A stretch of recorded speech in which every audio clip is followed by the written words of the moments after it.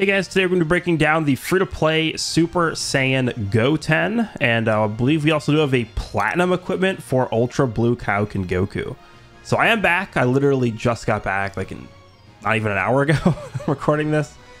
Um, just just for full transparency, I have a my, my last pre-recorded scheduled video going up in a few hours. It is uh, an LF OG Gogeta Blue uh, revisit. So that's going to be coming up later today. Uh, I'll do this breakdown video obviously right now, and um, I'm probably not going to get to the showcases of this Goten or Blue Kaioken Goku until tomorrow. I have a lot of videos to catch up on. I've only done two Omega showcases, like still got to do the Zenkai showcase, the Arts Boosted showcase, the uh, all that all that stuff. We're gonna do a lot of showcases on Omega. We still got some showcases left to do on Rage Shenron, and we got stuff with this. We have uh, like the, whatever this new campaign is. Like there's a lot of stuff going on, so I got a lot of catch up to do. But so you guys know, I am now back. So we have uh, availability now to actually record stuff. Let's take a look at Goten here. So uh, this is a purple defense type character. Um, they did not specifically say that this is going to be part of an episode campaign. I'm actually kind of hoping we're done with episode campaigns. I wasn't the biggest fan of how they structured them. I don't think they did a good job with episode campaigns, but we'll see.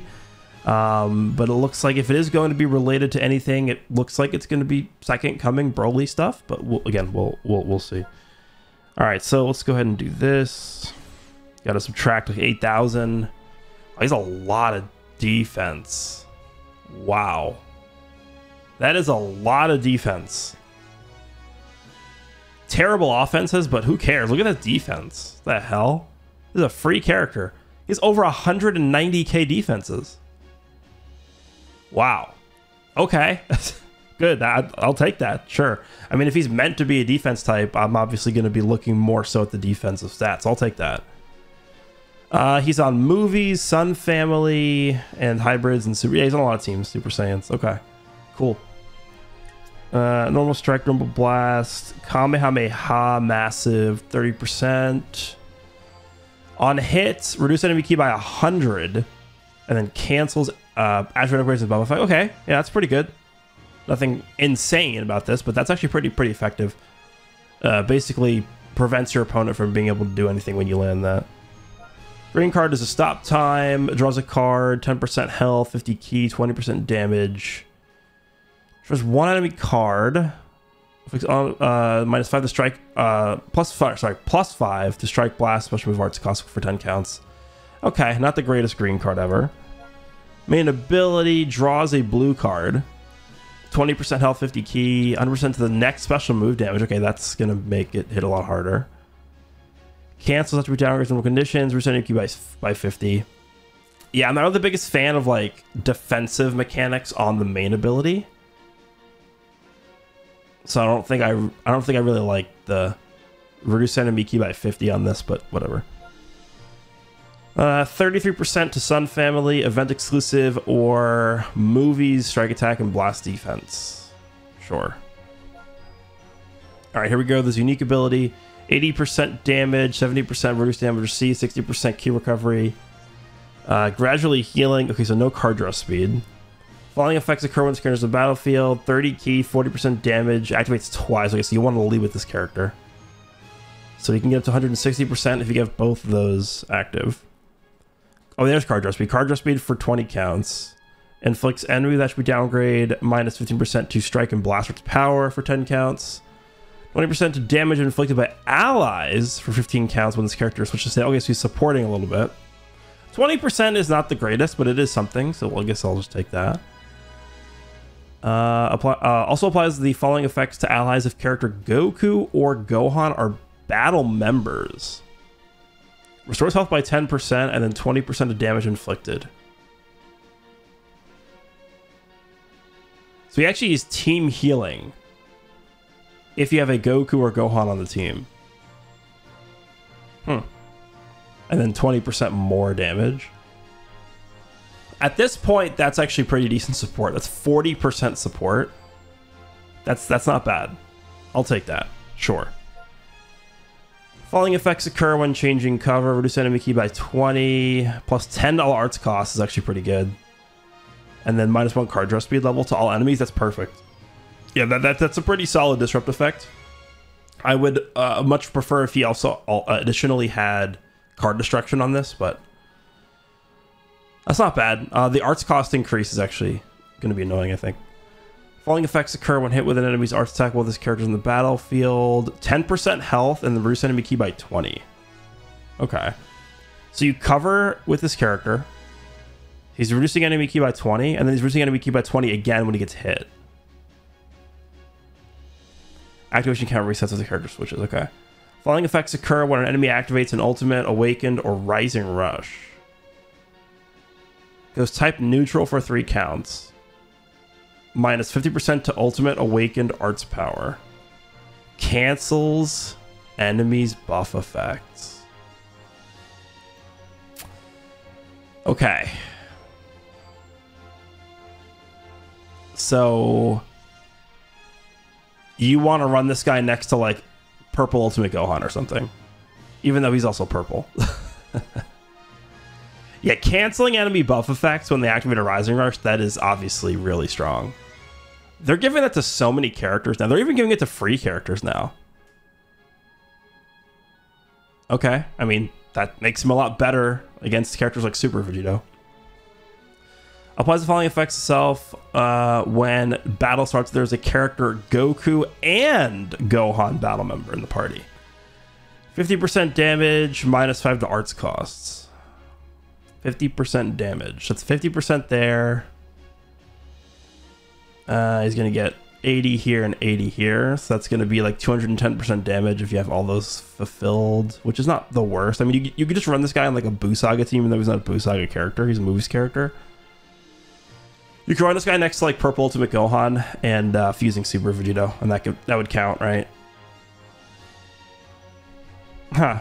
He seems pretty decent. I mean, I, a defensive type character without like a super disrupt, like Evil Buu at half health or endurance, is a little questionable, especially as a free character. But he has very good stats defensively, and he also has some decent disrupt, and he has the buff removal. So if you pair him up with, a, with an endurance unit, you can survive a rush. He seems okay actually as a free character. I don't really have many issues here. He seems pretty pretty decent as a free character. All right, let's go ahead and check out some equips. Uh, I actually think we do have a new. Oh yeah, by the way, I was I was able to do this finally because they gave us the one day Ultra Bonanza. So I did get a perfect roll in this, and then I got a second one just in case. Uh, let's check out the um, equipment. I think there should be a new Awaken equipment because I think Rush resets are reset today. Let's scroll down. We definitely have a new co-op equipment, so that's at least we know that that's the new co-op equipment. Super Saiyan and Sagas from the movies. 12% health restoration, 20% to strike defense, 20% to blast defense, and then 15% to pure strike and blast defense when hybrid and soup and a Saiyan are battle members. Uh, um, I think if they were gonna do this, the first slot should have just been health instead of health restoration. If they were gonna go the route of just full defense on this, they should have just given us health in slot one. I mean, this is a lot of defense but it's very specific. You have to be a Super Saiyan movies character and have a hybrid Saiyan on your team. That's yeah, I mean it's not like impossible. Obviously it's not it's not super difficult to do, but you're not really getting like a crazy effect out of this for what it's asking you to do. I don't know. Uh, we'll see. We'll see. Uh, all right. And then obviously we have the Blue Kaioken Goku equip. I might take a look at that last. Let me just go down and see if there's a new Awaken equipment, which I believe there should be. Yeah, there is. Okay, it's the Omega one. Shadow Dragon. Okay, so Rage Shenron can use this. Uh, Zenkai Syn Shenron can use this. Whenever Eis and Nuova get Zenkais, they'll be able to use this. Uh, Ultra Omega could use this. Special move damage, health restoration, 12% slot 1. Oh, slot three is 12% health. I saw that's pretty good. And then slot two looks like it could be either strike or blast oriented. So 18% to base strike or blast attack, and then 6% to own Pure Strike or Blast per Shadow Dragon battle member. Shadow Dragon battle member. Yeah. I I don't know about this one. Shadow Dragon.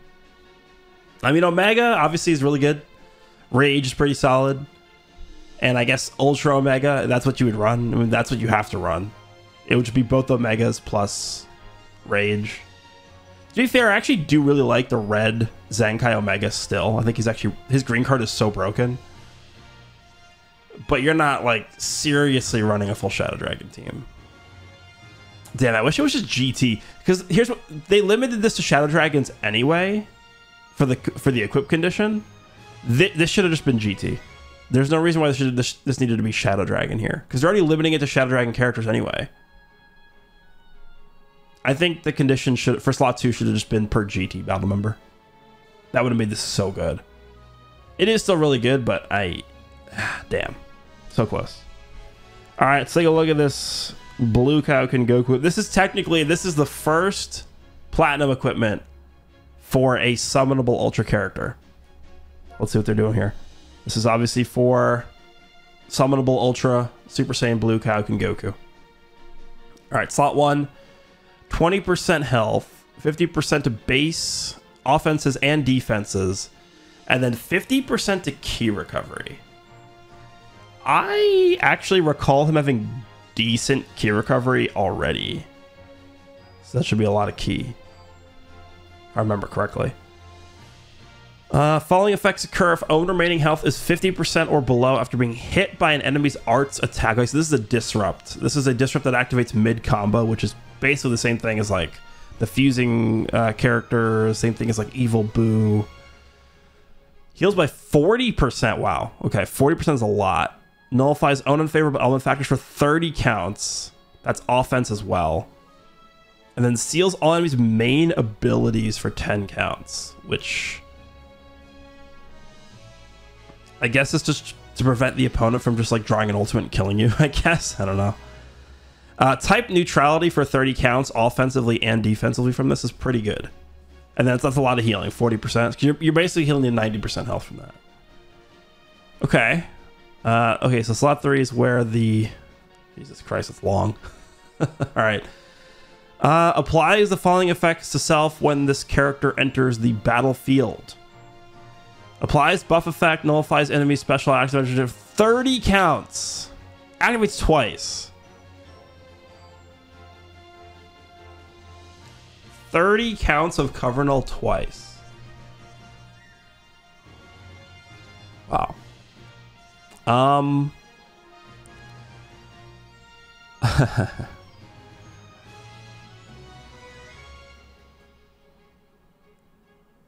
there is actually a downside to this.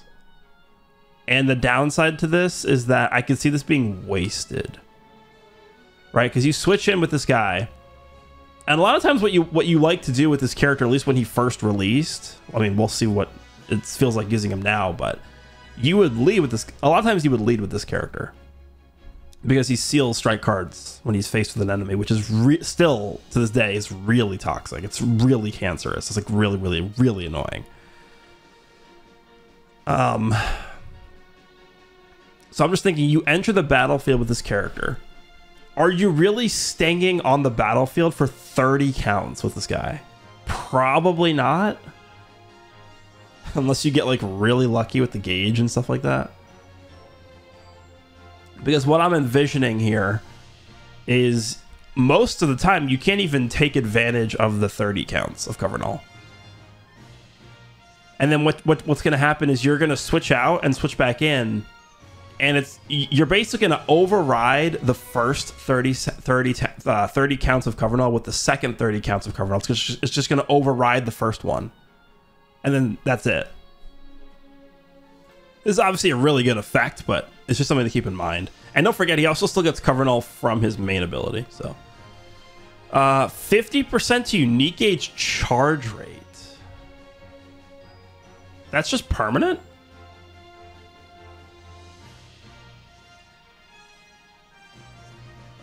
Uh,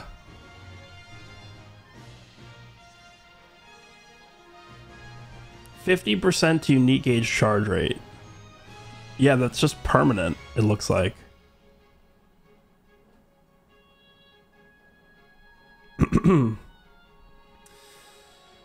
just says applies the following effects to self when this character enters the battlefield. 50% to unique gauge charge rate. It says activates once, but I assume what that means is that it just it doesn't stack on top of itself. Uh, we'll have to see if that actually is permanent, but to me it looks like it is permanent here. So, all right, unlocks at seven stars. I really don't like that they do this, but we'll see what what this is. Seventy percent damage. Okay, that's a lot. Actually, let me um, let me actually pull up how much damage he has just base. Just because I don't remember off the top of my head. So he starts with 110%. Obviously, he is getting the Ultra ability. That's the 30%. It's 140. And then when he fills the unique gauge up, he's getting extra arts damage. So the next time he uses a card. Uh, that's is that it? And then his green card is giving him damage buffs. Okay. So he doesn't that much damage actually. I mean, he, yeah, at this point he is pretty old. 70% damage, applies falling affects itself upon landing a strike or a blast arts hit. Activates once. Randomly draws at most two new cards when you have three or fewer cards. Inflicts enemies with two subcounts?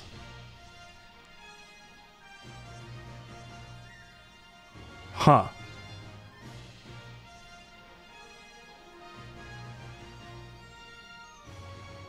That is a strong combo. Because you're locking in the opponent. You're locking in the opponent. And you're drawing cards. Like, you could just chain together like three. This is like, this is like LF Cooler, what he used to do, basically. Huh. Yeah, this is obviously a very strong equip here. Um, my main concern is going to just be his defenses. I don't think this is really going to help him defensively. The only defensive utility he's getting at all from this, besides the disrupt, which I don't, I don't even know if is the disrupt really going to matter if he gets one shotted. Like he's getting 50% base defenses. Is that enough? The answer is no. What is his? I, I closed out of it. I assume he doesn't have the greatest damage reduction to reduce damage received buffs. So he's got 50% reduced damage received, and then when, when he fills the unique gauge up, he reduces next damage to same by 20%. Yeah, that is not, not enough. 50%, we're at 70% at this point. So I, I'm, I'm going to be very concerned about his defenses, but he is yellow, which is very good right now. Um, not very many crazy reds running around. I mean, the only one that really is like used right now is Fusion Zamasu. I'm actually pretty excited to test this guy out. He looks pretty damn good. This third slot, I mean, 30 counts of cover null. You're getting permanent, what it seems to me is a permanent 50% unique gauge charge rate, 70% damage, and then you're drawing cards and locking the opponent in when you land a card. And that's repeatable when you switch in and out. All right, man. Uh, this is a real equip right here. Uh, this is a character that was really good on release. Um, he unfortunately quickly fell off because the they decided to release like one of the biggest mistakes of all time in this game, which was the tag Android 17 and 18, like right after this guy came out. Um, but he seems, yeah, this is this is a very very strong equip. We'll see. We'll see. Again, I'm going to probably be doing a showcase on this guy and the free to play Goten tomorrow, just because I am. If you guys couldn't tell, I am getting over so, uh, something that starts with a C and ends with uh, an A. Uh, plus, just did like almost 24 hours of straight traveling. And I have another pre-recorded video dropping in a few hours. Let me know what you guys think of the free-to-play Goten and the Super Saiyan Blue Kaioken Ultra Character Platinum equipment. Hope you guys enjoyed, and I'll see you all in the next one.